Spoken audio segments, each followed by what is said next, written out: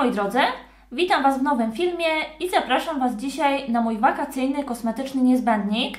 Będą to moi ulubieńcy, ulubieńcy lata.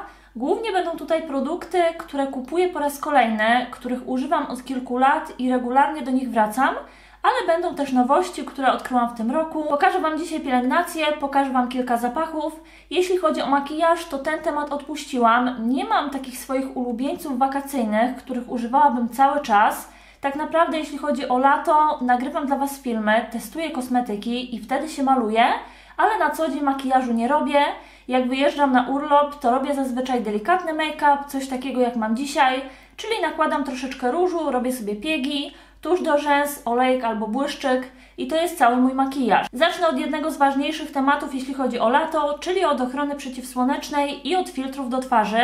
Jakiś czas temu wrzucałam Wam na kanał przegląd większej ilości filtrów i tak naprawdę większość z nich mi się sprawdziła, ale na mojej top liście są trzy produkty i są to kosmetyki, które Wam dzisiaj pokażę. Pierwszy z nich to opcja z drogerii, jest to AA Lab Creme Perfector SPF 50 rozświetlająco nawilżający.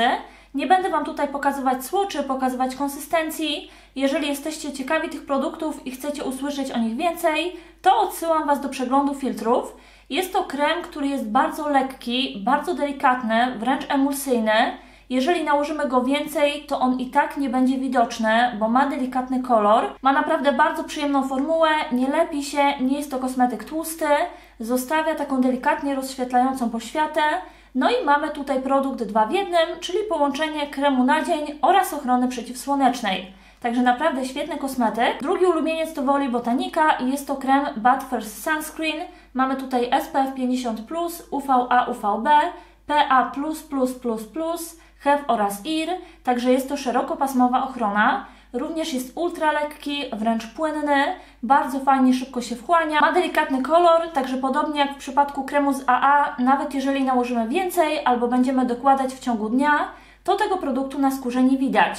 Ma lekkie satynowe wykończenie, nie wygląda tłusto, nie wygląda mokro, także również genialny SPF do twarzy. Trzeci kosmetyk to troszkę niższa ochrona, mamy tutaj SPF 30, także jest to produkt, który sprawdzi się na troszkę mniej upalne dni, kiedy słońce nie jest tak mocne, tak intensywne, no bo wtedy lepiej użyć 50. Na pochmurny dzień fajna będzie 30. Jest to marka Ole Henriksen, dokładnie Banana Bright Mineral Sunscreen. Mamy tutaj witaminę C, także kosmetyk działa antyoksydacyjnie i delikatnie rozjaśniająco.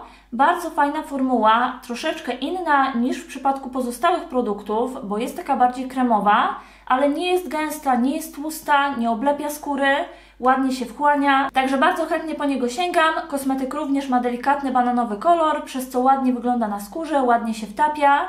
Jeśli chodzi o ochronę, jak nakładam ten kosmetyk, to nie widzę później, że moja skóra jest podrażniona, zaczerwieniona, także faktycznie ta ochrona jest. Kolejny kosmetyk to mój wakacyjny niezbędnik. Jest to postać mgiełki, także możemy wrzucić sobie go do torebki. No i jeżeli chcemy w ciągu dnia reaplikować SPF, to nie musimy wyciskać kremu, nie musimy brudzić rąk, tylko po prostu spryskujemy sobie twarz. Jest to mój ulubieniec chyba już od 3 lat. Jak pojawił się na rynku, to kupiłam, przetestowałam i regularnie do niego wracam. Mowa tutaj o mgiełce Over Makeup Super UV, marka Garnier, jest to ich seria przeciwsłoneczna. Jest to moim zdaniem naprawdę świetna opcja, produkt nie bieli, nie osadza się na skórze, nie zauważyłam, żeby rozpuszczał makijaż, nie powoduje, że skóra wygląda tłusto.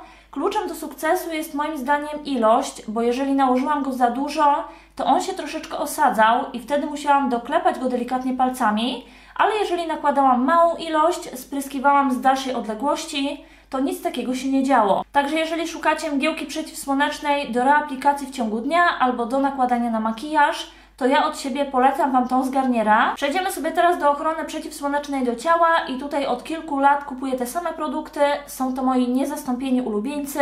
Mowa tutaj o produktach Kolastyna seria Coconut Paradise. Mam tutaj SPF 30 oraz SPF 50. Są to takie delikatne mgiełki, delikatne olejki, ale one nie są tłuste, nie oblepiają skóry. Oczywiście, jeżeli spryskamy się tymi produktami i na przykład od razu chcemy położyć się na piasek, to on będzie się troszkę przyklejał, no bo jednak tworzy się taka delikatna olejkowa warstwa, ale to po chwili znika, kosmetyk nie jest tłusty, nie jest lepki, także naprawdę genialne produkty przeciwsłoneczne. Ostatnio kupiłam w Rossmanie również nowość z tej serii. Jest to transparentny spray ochronny SPF 50. Jest to wersja dedykowana dla dzieci na mokrą i suchą skórę. Już ten kosmetyk przetestowaliśmy i on jest jeszcze lżejszy jeszcze delikatniejszy niż te produkty. Także jeżeli je mieliście i dla Was były może delikatnie zbyt tłuste, to polecam przetestować sobie wersję dla dzieci. Na opakowaniach mamy informację, że wszystkie produkty są piaskoodporne, cokolwiek miałoby to znaczyć, są wysoko wodoodporne, oczywiście trzeba je w ciągu dnia reaplikować, ale jeżeli chcemy wejść do wody, no to ten kosmetyk od razu ze skóry nie zniknie. Jeśli chodzi o te dwie wersje, to mamy tutaj napisane, że mają dawać na skórze natychmiastowy efekt schłodzenia o 2 stopnie i to faktycznie czuć. Są takie przyjemnie orzeźwiające, odświeżające, taka lekka, chłodząca bryza. Także jeśli chodzi o wszystkie trzy produkty, moim zdaniem świetne opcje, serdecznie Wam je polecam. Przejdziemy sobie teraz do produktów brązujących, delikatnie opalających i rozświetlających. Zaczniemy od produktów do twarzy.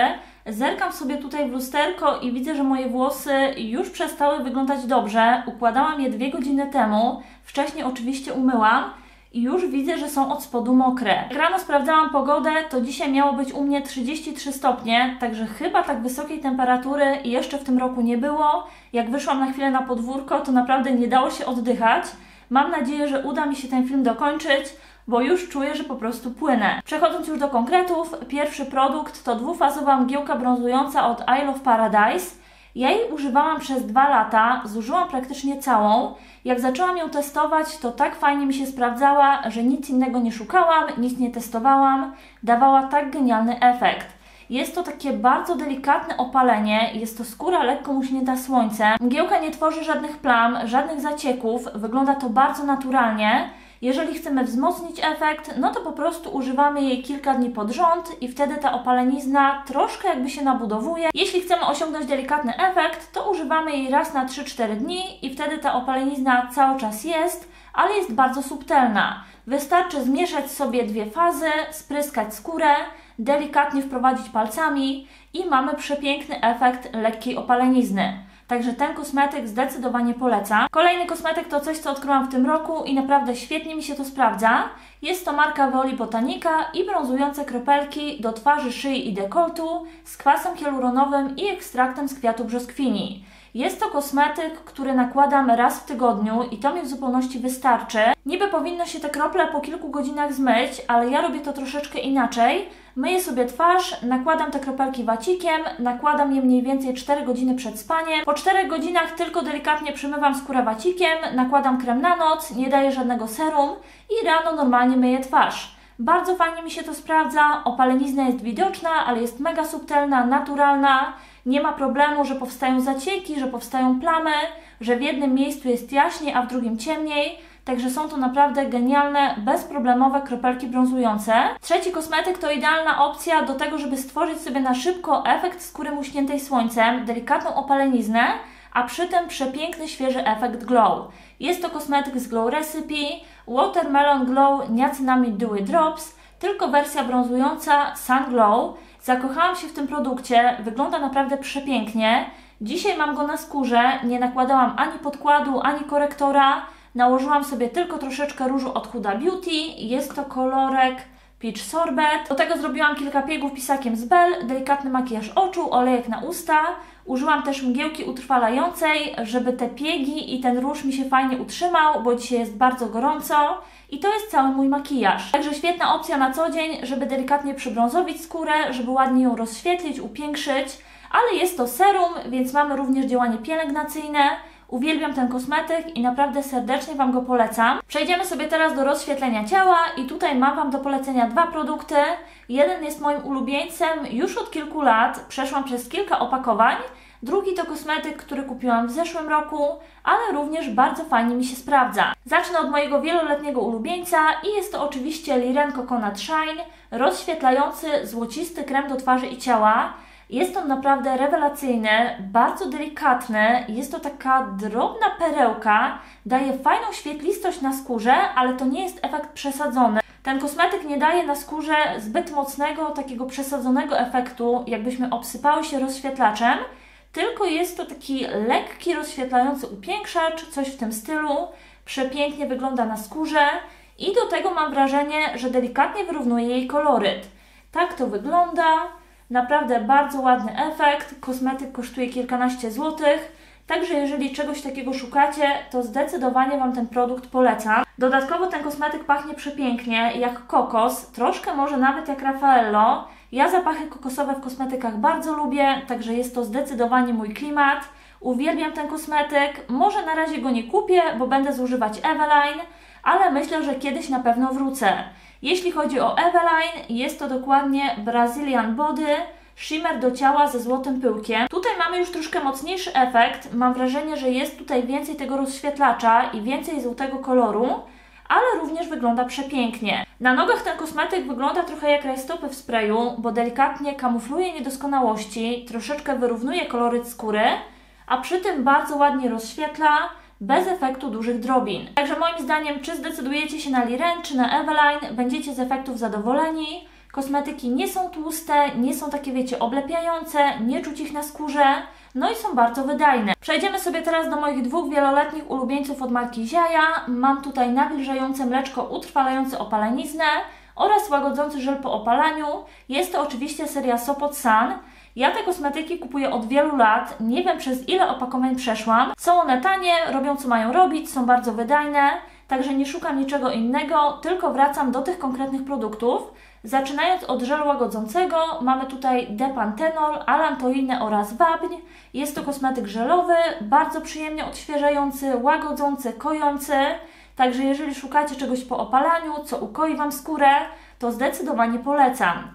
Drugi produkt to mleczko utrwalające opaleniznę i nie wiem, czy to jest placebo, czy ja sobie to wmawiam, czy faktycznie tak jest, ale wydaje mi się, że ten kosmetyk widocznie przedłuża trwałość opalenizny.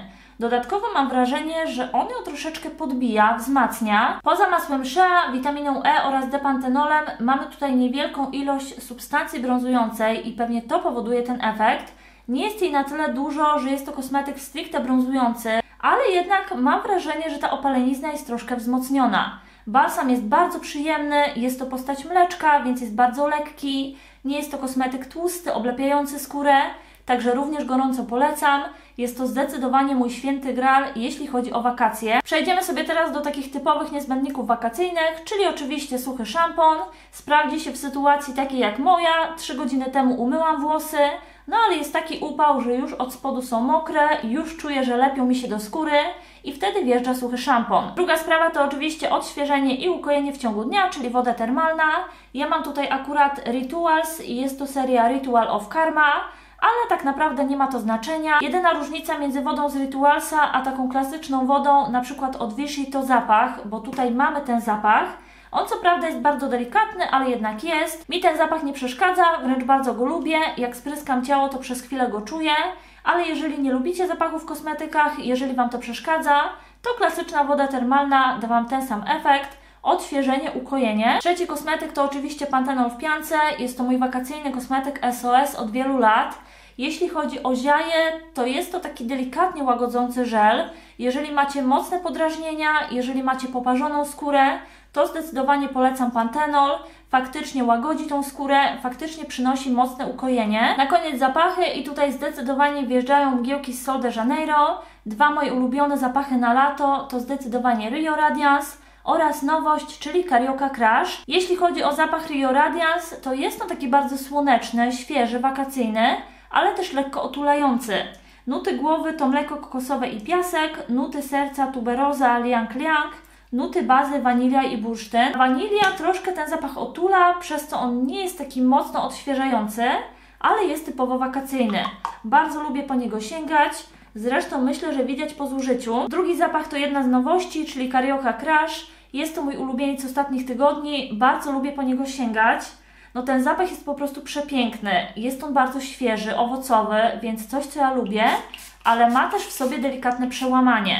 Nuty głowy to gruszka i liczy i one są tutaj mocno wyczuwalne. Nuty serca to różowy fiołek i pralina. Nuty bazy piżmo i ekstrakty z białego cedru. Troszeczkę czuć kwiaty, ale one są bardzo subtelne, delikatne, jakby schowane w tych owocach. Także jeżeli lubicie owocowe zapachy, bardzo świeże i delikatnie słodkie, to myślę, że będzie to zapach dla Was. Na koniec oczywiście mgiełka perfumowana od Moroccan Oil, nie mogło być inaczej. Uwielbiam ten zapach, bardzo często używam. Testowałam na ciele i zauważyłam, że nie ma super trwałości, ten zapach nie utrzymuje się długo, ale na włosach tak. Także mgiełka stała się moimi perfumami do włosów, bardzo lubię jej używać. Ona te włosy tak troszkę otula i ten zapach bardzo długo czuć.